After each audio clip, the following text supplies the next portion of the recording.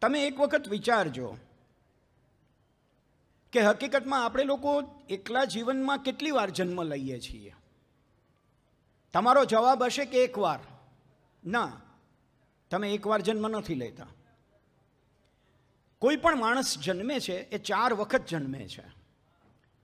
પોતાના સમગ્ર જીવન દરમિયાન ચાર વખત જન્મે છે. આ ચારે ચાર જન્મ દરમિયાન જે ભેગા ભેગા આવે છે એ બધા જ આપણા પરિવારના સદસ્યો છે. આપને એમ થાય કે ચાર વખત એટલે કેવી રીતે? સૌથી પહેલી વાત તો મને ને તમને ખબર નથી એવી રીતે આપણો એક કોષમાં જન્મ થયો હોય છે.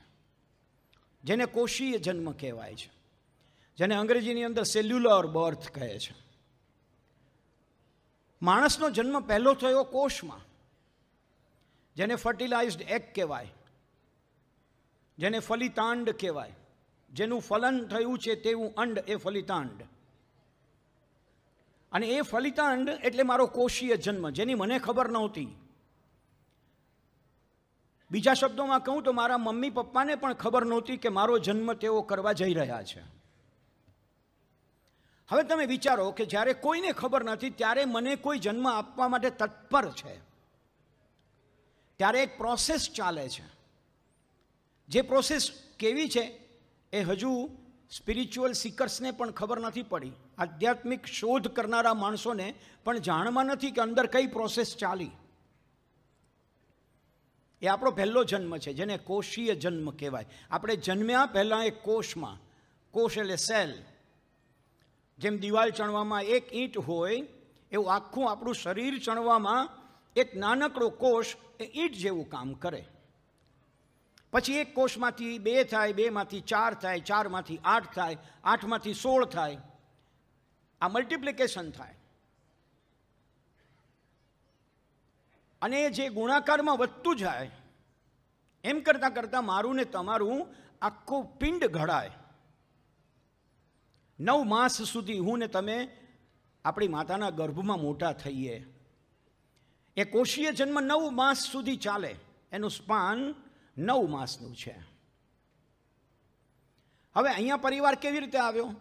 તમે મને સામાન્ય પૂછી શકો કે જ્યારે કોષ તરીકે આપણે છીએ ત્યારે પરિવાર કેવી રીતે આવ્યો? એક નાનો પ્રશ્ન વિચારો કે તમે એક બંધ કોટડીમાં ધીમે ધીમે મોટા થઈ રહ્યા છો, ડેવલપ થઈ રહ્યા છો, તમારા અંગો ઘડાઈ રહ્યા છે, તમારામાં સેન્સીસ ઉમેરાઈ રહ્યા છે.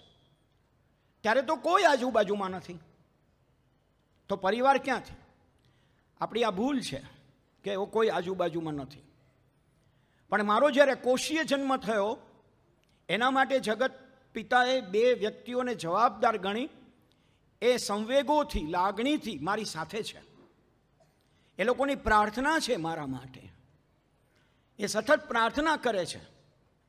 એ પ્રાર્થના એ કરે છે કે અંદર જે જીવ ઉછરે છે એને સાચવી લે છે.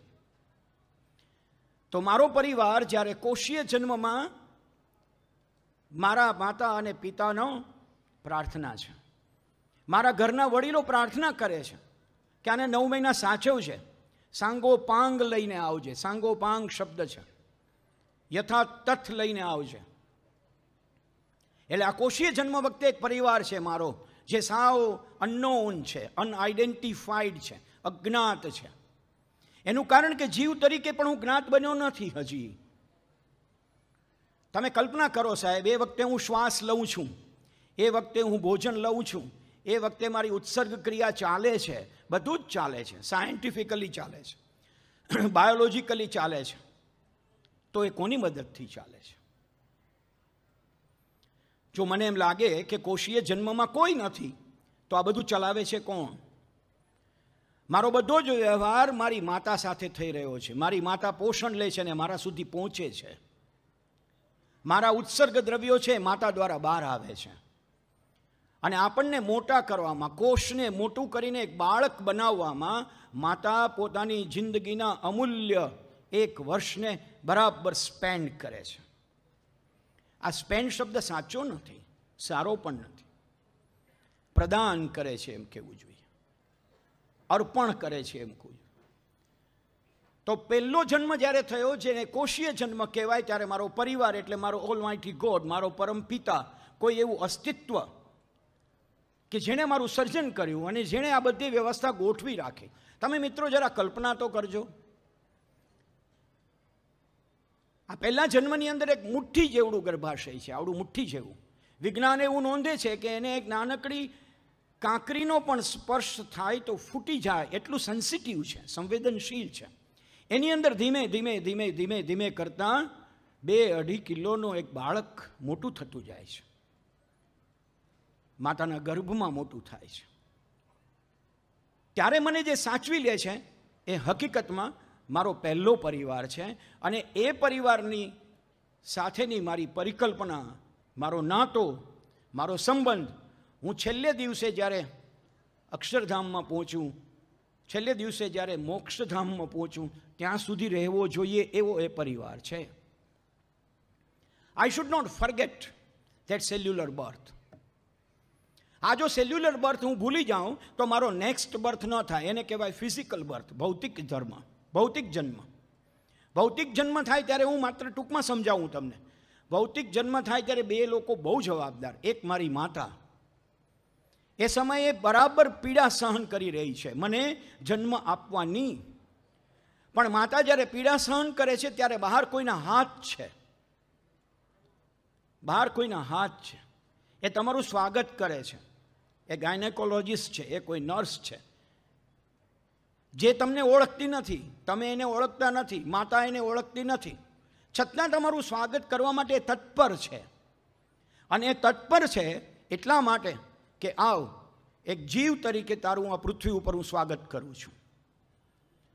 કદાચ મારે કહેવું હોય તો એમ કહું કે કોષીય જન્મમાં જે અદૃશ્ય પરમાત્મા મારી સાથે હતો, એ પરમાત્માએ એને અહીંયા મોકલેલ છે કે તું એની સામે હાથ ધરી રાખજે. જેથી કરીને આ ભૌતિક જન્મ લે, ત્યારે એને કોઈ ધક્કો ન પહોંચે. આ ધક્કો ન પહોંચેની આખી પ્રક્રિયા, આખું વાતાવરણ, મને જન્મમાં મદદ કરનારી મારી માતા બહાર રાહ જોઈને બેઠેલા મારા પિતા, દાદા, દાદી, નાના, નાની, મિત્રો, એ બધા મારા પરિવાર છે ભૌતિક જન્મ વખતના. ત્રીજી વાત, મારો ત્રીજો જન્મ થાય, હું ધીમે ધીમે મોટો થતો જાઉં અને મોટો થાઉં એ દરમિયાન આજુબાજુના કેટલા લોકો મને સંવારવા, સજાવવા, ખુશ કરવા, સાચવી લેવા.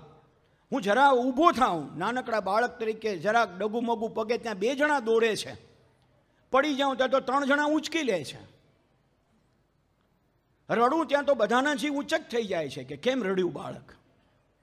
તો આ બધા ઇમોશન્સ છે, જેને મારો થર્ડ બર્થ કહેવાય છે, ત્રીજો જન્મ જેને સાંવેગિક જન્મ કહેવાય છે. એવું જરૂરી નથી કે ત્યારે માં હોય. માં તો નોકરી કરતી હોય ઘણીવાર. બે અઢી વર્ષનું બાળક હોય ને એની માં તો નોકરી કરતી હોય. એની કેરટેકર હોય. ઘરે એક બેબી હોય, ઘરે એક બેન હોય. એ સતત મારી લાગણીથી, કાળજીથી, પ્રેમથી, ભાવથી મને બરાબર સાચવી લેતી હોય એ મારો પરિવાર છે. આ દરેક વ્યક્તિ મને કંઈક ને કંઈક શીખવે છે.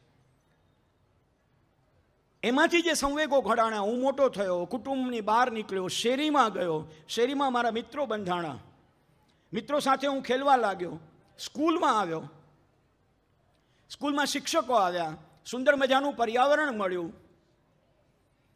અને જે આખું એક વાતાવરણ મળ્યું એ મને સંવેગો આપે છે. સારું શું અને નરસું શું એ મને કહે છે. હવે યાદ રાખજો મિત્રો કે આ તમારો ત્રીજો જન્મ એ સાંવેગિક જન્મ છે અને એ વખતે તમારે શું પસંદ કરવું, શું છોડી દેવું એનો આધાર પહેલાં જન્મ ઉપર છે.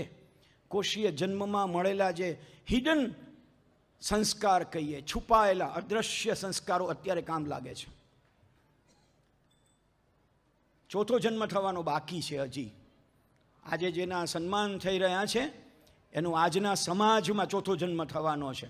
They are the achiever of the society એટલે ત્રીજો જન્મ સાંવેગિક, ચોથો જન્મ થાય સામાજિક જન્મ.